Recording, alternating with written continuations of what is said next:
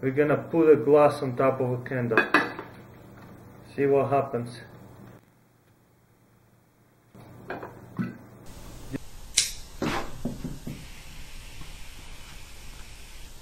Thirty milliliters of water and seventy milliliters of alcohol. Mix it up like that, uh, or whatever, so you don't have to mess up your hands.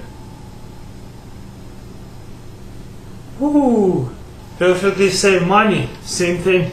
Get some vinegar and put some vinegar up in here, and then put some baking soda.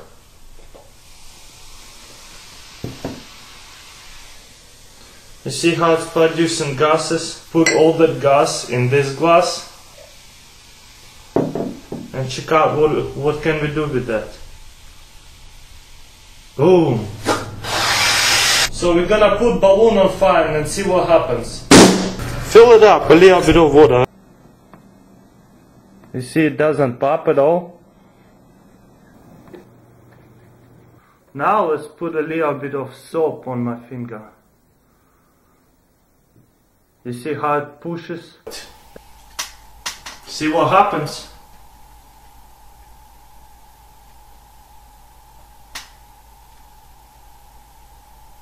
Here goes. Let's start this again. Oh, you check this out, guys. Can you see this on this camera? All the way in and check check it. Check this out, huh guys? And it didn't pop. Of course, as I pull out and it pop again. Disconnecting and it's always on. Stick this thing into the balloon. So now we're gonna fill it up some water over here and leave it in the freezer. Water balloon.